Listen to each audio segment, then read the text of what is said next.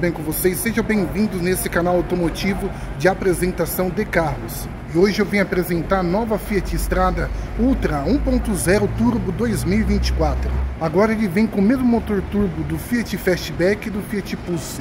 Fiat Strada ela traz toda uma restilização nessa frente, ficou muito bonito na minha opinião.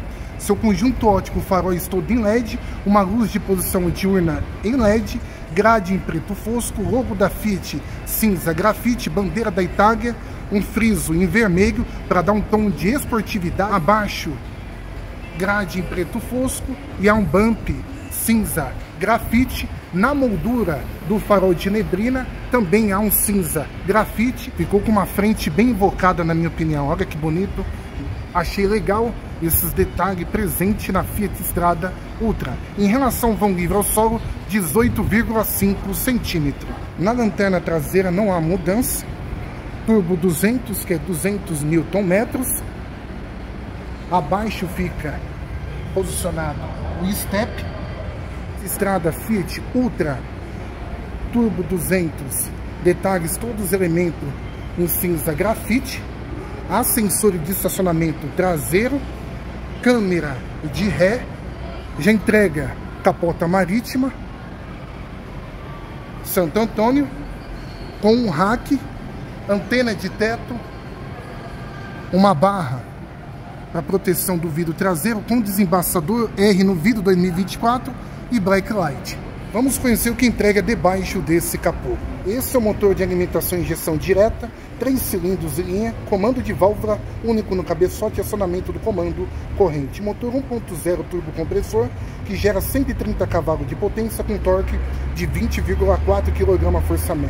Em relação peso-potência, 9,62 kg por cavalo seu 0 a 100 9,5 segundo e atinge uma velocidade final 180 km por hora. Uma picape que tem o seu peso de 1.251 kg, atrelado com uma transmissão automática do tipo CVT que simula 7 velocidade, acoplado com conversor de torque. Não vem manta acústica e a vareta. Já vem com uma bateria Moura, que é a melhor bateria que tem hoje no mercado, 60 ampere. Seu consumo perimetro categoria A no geral B, emissões de poluente B. Em cidade, no etanol fazendo 8,3, na gasolina 12,1.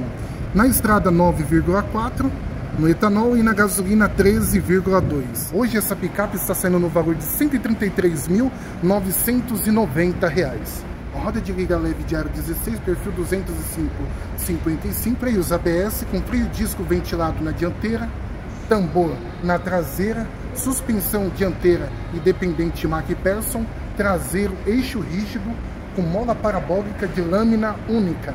Seu comprimento de 4,44 entre eixo de 2,73, tanque de combustível capacidade de 55 litros. Já na sua lateral, caixa de roda em aplique em preto fosco, estribo para entrada na picape, com friso de porta, ao emblema turbo para identificar que realmente essa versão é a turbo. Capa do retrovisor em cinza, com indicador de seta, espelhos elétricos, maçaneta da cor do veículo, com a coluna B em preto fosco, rack de teto em cinza, grafite, se estendendo, caindo até o Santo Antônio, com a barra protetora, como eu mostrei para vocês, do vidro traseiro, e aí, o que, vocês acharam da picape, a versão Ultra 2024? Ficou bonito, na minha opinião. Agora vamos conhecer a sua caçamba. Não é pesada, já vem com protetor de caçamba, gancho de fixação para amarração da carga, são 844 litros de capacidade de caçamba, com 650 kg de carga útil. Um bom acabamento, a luz de cortesia presente acendimento lá no painel da caçamba, qual vou estar mostrando. Protetor de caçamba já vem bem completa, capota marítima com Santo Antônio. E aqui está o detalhe, turbo 200 Nm, quer dizer o torque, 20,4 de torque entrega nessa picape. Acabamento da sua porta traseira, todo em plástico, maçaneta um cinza, grafite, não há parafuso aparente, apoio de braço em plástico, comando do vidro elétrico, com porta-copo, porta-objeto e saída do alto-falante. Banco, seu revestimento todo em couro, com linhas vermelhas, com três encostos de cabeça, cinto de três pontos com isofix, teto na cor preta, não a alça. Aqui atrás, para entrada ao veículo, somente do passageiro do lado do motorista, é a única alça que tem na picape. Levantando o assento do banco traseiro, você vai encontrar triângulo, macaco e chave de roda. Bem fácil o acesso. Legal que eles aproveitaram esse espaço para colocar esse kit de emergência. Tanto o triângulo e o macaco. O espaço internamente não é dos melhores, porque o banco já está regulado para mim lá na frente, motorista, e são 2,73 de entre-eixo. Vamos ver a acomodação como eu fico aqui, ó. Então, tá bem para trás ali para mim. E olha só, fiquei bem justo na picape, mas dá ainda para fazer uma viagem. Mas dificulta sim para o terceiro ocupante se for uma pessoa com 1,80m. Porque o console, ele vem bem aqui, aonde é apoio dos pés. E tem o porta-copo. É o acabamento da porta dianteira, na parte superior em plástico, maçaneta em cinza grafite, apoio de braço, revestimento em couro, com linhas vermelhas, não há parafuso aparente, comando dos vidros elétrico, comando de espelho elétrico, com porta-copo, porta-objeto e saída do alto-falante. Uma soleira estrada em adesivo, banco, seu revestimento todo em couro, com ultra cinza, um bordado, bacana na minha opinião ficou, com linha, sua costura toda em vermelho, dando um tom de esportividade com teto preto, chave canivete, Fiat Strada versão Ultra, telecomando de travamento destravamento, logo ao centro da Fiat, está inserindo na ignição, pé no freio,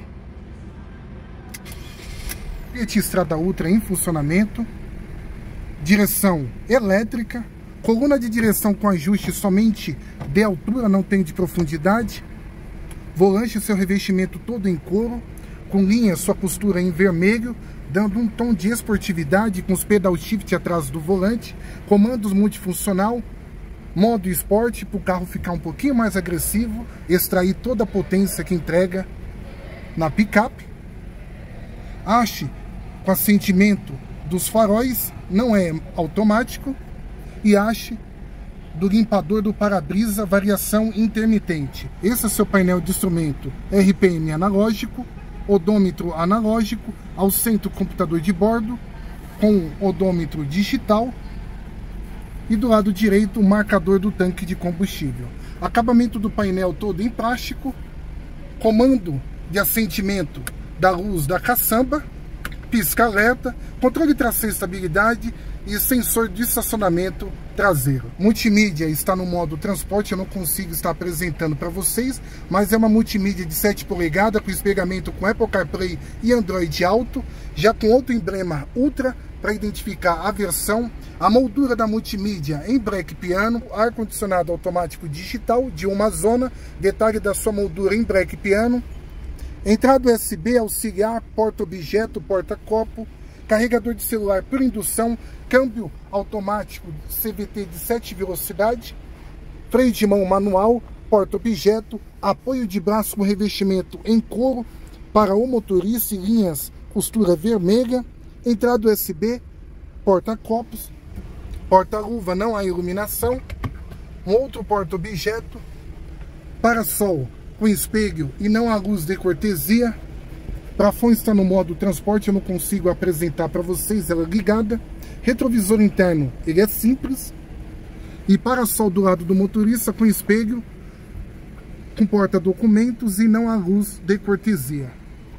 Alça de segurança somente para o passageiro, do lado aqui do motorista. Capa entrega quatro airbags, dois frontais e dois laterais. O que, que vocês acharam dessa frente, faróis todo em LED, bonito design que ficou da picape Estrada, hein?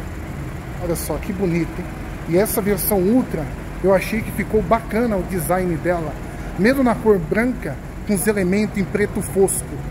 Com detalhe, friso aqui na grade em vermelho, já chamando a atenção que é uma versão voltada à esportividade. Se você for novo nesse canal, por gentileza, se inscreva, deixa seu like, seu comentário. Eu vou ficando por aqui. Por gentileza, não esqueça de ativar o sininho de notificação para que você não venha perder nenhum conteúdo neste canal. E em breve estarei fazendo o test drive dessa belíssima picape Fiat Strada versão Ultra 2024, motorzão turbo. Beleza, pessoal? Vou ficando por aqui e aguardo a todos vocês para o próximo vídeo aqui no canal. Valeu, fui!